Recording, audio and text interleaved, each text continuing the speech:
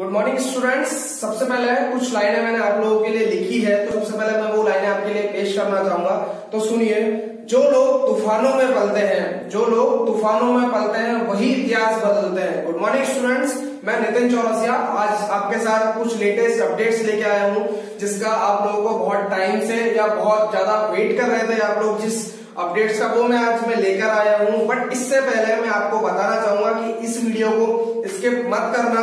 Last तक इस video को देखना, इसमें आपको सारी जो अपडेट्स हैं वो मिल जाएँगी। इसके साथ साथ आपको क्या प्लान से स्टडी करनी है, वो भी आपको इसमें मिल जाएगा। तो वीडियो को अगर आपने अभी तक सब्सक्राइब नहीं किया है तो सबसे पहले इस वीडियो को चैनल को जाके सब्सक्राइब कीजिए, ताकि सीबीएसई e और एजुकेशन से रिलेटेड जो वीडियोस हैं लेटेस्ट अपडेट्स हैं, वो आपको रेगुलर मिलती रहे राइट तो अब हम लोग डायरेक्ट पॉइंट पे आते हैं। अभी तक बहुत सारे स्टूडेंट्स का डाउट चल रहा था, बहुत सारे स्टूडेंट्स को दिमाग में टेंशन चल रही थी प्रॉब्लम चल रही थी कि हमारी जो जेई की जो तैयारी चल रही है, जो नीट्स के स्टूडेंट्स उनकी जो प्रिपरेशन चल रही है, उसकी डेट्स अभी तक फाइनल नहीं हुई थी।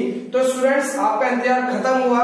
एचआरडी मिनिस्टर्स और जो एजुकेशन मिनिस्टर और हमारी गवर्नमेंट्स ने डेट्स जो नीट की और जेई मेंस की थी, वो फाइनल कर दी है स्टूडेंट्स तो एक बार मैं वो डेट्स आपको सबसे पहले बता देता हूँ देन फिर हम लोग डिस्कस करेंगे।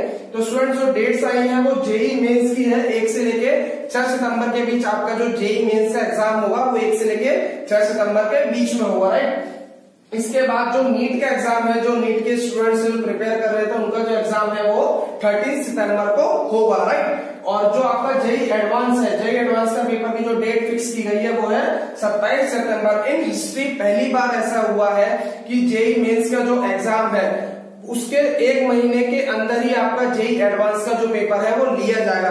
तो स्टूडेंट्स ये जो डेट्स एजुकेशन और गवर्नमेंट ने निकाली है, बहुत समझ के आपकी सुरक्षा आपका ध्यान में रखते हुए ताकि आपको कोई प्रॉब्लम ना हो। जैसा कि अभी आप लोग देख रहे होंगे कि कोविड क्राइसिस कितना चल रहा है, मुंबई, महाराष्ट्र और भी जगहों में कितना ज़्यादा फैल रहा है। तो उस चीज़ को ध्यान में रखते हुए स्टूडेंट्स की आप लोगों को प्रॉब्लम नहीं हो, आप लोगों को कोई दिक्कत नहीं हो, इस चीज़ के लिए उन्होंने ये डेट्स निकाली है। बट स्टूडेंट्स एक चीज़ और बताना चाहूँगा इस चीज़ को सबसे ज़्यादा ध्यान रखना है कि ये जो अपडेट्स आई है ये जो डेट्स आई है ये फिक्स नहीं है। जो उन्होंने ट्वीट करके लिखा है वहाँ पर भी मेंशन किया हुआ है कि ये जो डेट्स हैं ये फिक्स नहीं है। आपको आ, मिल जाएगी या तो उसकी जो आ, एक पूरा जो इमेज है वो आपको या तो स्क्रीन पर शो हो जाएगी। अगर नहीं होती है तो आपको डिस्क्रिप्शन में उसका लिंक मिल जाएगा। वहाँ से भी देख सकते हैं कि ये जो डेट्स निकाली है ये भी फिक्स नहीं है।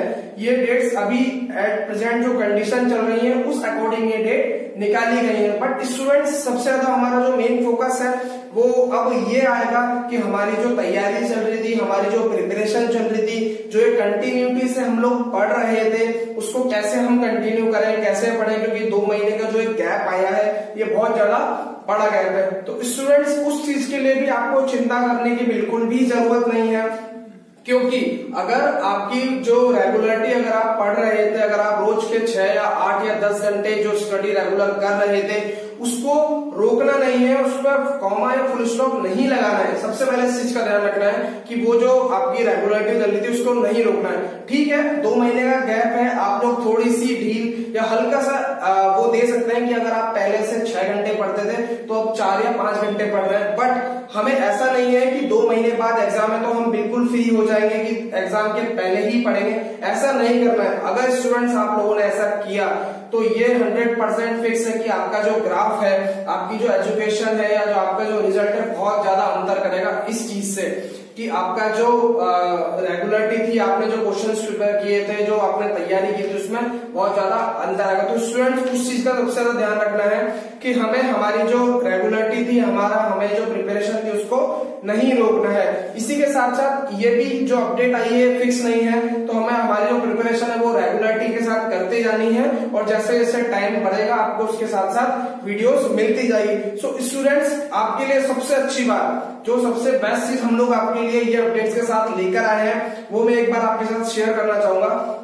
इस चीज़ को ध्यान में रखकर कि आपकी जो स्टडी है वो रेगुलर चल सके, आपका जो टाइम है वो वेस्ट ना हो, आपकी जो कंटिन्यूटी है वो रेगुलरिटी में रहे। मतलब एक साथ रहे, जो आपका ग्राफ है, जिस स्पीड से आप लोग पढ़ रहे थे, वो रेगुलर है इस चीज़ के लिए हम लोग आपके लिए कुछ एमसीक्यू सीरीज़ कुछ एमसीक्यू बूस्टर असाइनमेंट्स कुछ ऐसे क्वेश्चंस आप लोगों के लिए लेकर आए हैं और लेकर आते रहेंगे। ताकि आपकी जो प्रैक्टिस है, आपकी जो स्टडी है, वो आप रेगुलर कर सके और आपका जो टाइम है, वो बच सके। साथ साथ जो अच्छे क्वेश्चन है, उन पर आपकी प्रैक्टिस बनी रहे। तो इसकी जो डिटेल्स है, वो आपको डिस्क्रिप्शन में मिल जाएगी। राइट तो इसी से आपकी जो एजुकेशन है, वो चलती रहेगी। अपडेट्स एजुकेशन की आती रहेगी बिकॉज़ क्योंकि अभी जो कंडीशन चल रही है, उसमें कुछ भी चीज़ फिक्स नहीं है। तो स्टूडेंट्स आपको चिंता करने की ज़रूरत नहीं है। जो भी कुछ आपके लिए फैसला लिया जा रहा है हमारे गवर्नमेंट के थ्रू वो आप लोगों के लिए फ़ायदे में ही और हम लोगों के लिए भी फ़ायदे में है। तो उस चीज़ को हम लोगों को सम्मान करना है, उसको हम लोगों को गलत नहीं बोलना है, क्योंकि वो आप लोगों के लिए और हम लोगों के लिए ही